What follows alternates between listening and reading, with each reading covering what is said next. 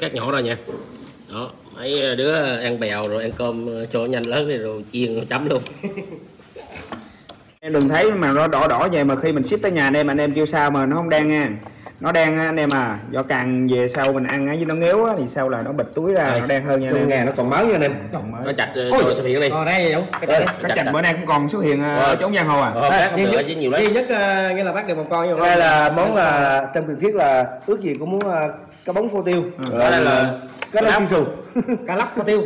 Cá lóc với lại có tràng khô tiêu. Còn có rau chiên xù. Ừm. làm con cá tràng trước đó không ăn hết con bánh mực nữa Thằng thanh ăn cơm nhà nó rồi à? Ừm. không dừng ngọn con có chịu ngọn dừng con mấy cái cảnh gì sen cho vô vô vô, vô chảo rồi đó. Đây có có nãy anh mình uh, nó lộn ở trong mặt này nè. Ăn cá này ngon lắm nha. Ừ. đó thì hiểu. Em phải sống nếm rồi mực cái này thì anh em chơi nguyên luôn. Khỏi cắt anh em chưa cần cho thơm bàm vô là đã vừa ăn rồi đấy nha. Anh em có thể thêm thơm ý ý ý.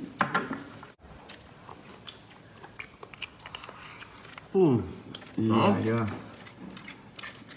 Ừ, con ngọn anh em ghém kìa Ừ. vào mấy con cá cơm Cá cá cơm trong máy mà chơi luôn rồi. Đi bà thấy đâu không rồi nó anh em với mấy cái cảnh vẫn còn đây nha anh em. Nó nó vỗ. Anh em à, mình thì cứ vào vô hàng xem cái loại nào được thì anh em múc nha anh em ơi. Hết. Xào ốc thì anh em làm đây là lót dạ trước nha. Leo. Làm quyết định luôn. Em lên rừng thì à, khỏi lo không à, có củi đốt nha.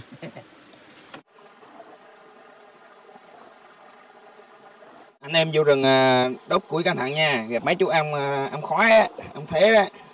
Rương là chạy bảy gò luôn á thành ơi ngâm cái chai mật ong à, nghe xí xíu nước xí nữa ờ, uống cho nó mát. Đó. Thử rồi mới biết. Cũng thử nó to rồi. Nãy mua một được hai. Quất.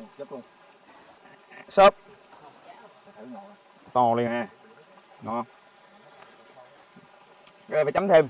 Cũng cũng cũng ngọt chứ. Chuẩn. Củ đá chắc lắm. Còn nó bung riều số 1 nha. Dập dập cháy luôn. Có làm nhân tiên đâu đũa? Đậu đũa hả? Nó còn quá ngon má còn. Cái này cái đụng đỉnh mà. Ê đụng đỉnh là đụng đỉnh đúng không? Cái này ngứa anh tiên à? Ngứa đấy. Lấy khác. Cây đây tròn mà. Cây làm gần cây làm gần câu quay bài bây giờ anh em mình à, sau khi à, chần sơ một lớp nước sôi rồi. Nói chung anh em. Vừa cho nó biết. Thơm đấy thơm không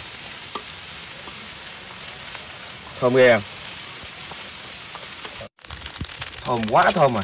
Đó bây giờ mình ờ, nó nó nó giòn hết rồi nha.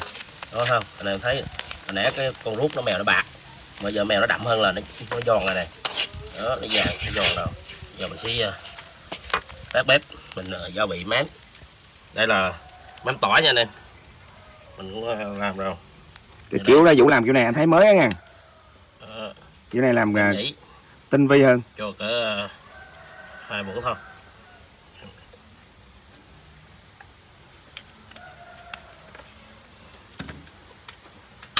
Bật lửa lên. Ném tỏi. Tỏi nào nhiều ờ, nhiều tỏi là thơm từ nó nha em. Đó. Rưỡng lên. Wow.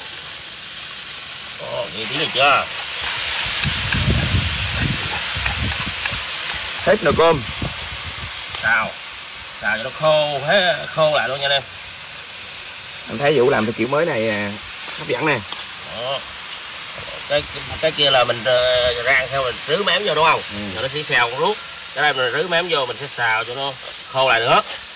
Khô lại nữa cho nó thấm gia vị đều. Nó ngon. Cái này gọi là sao khô à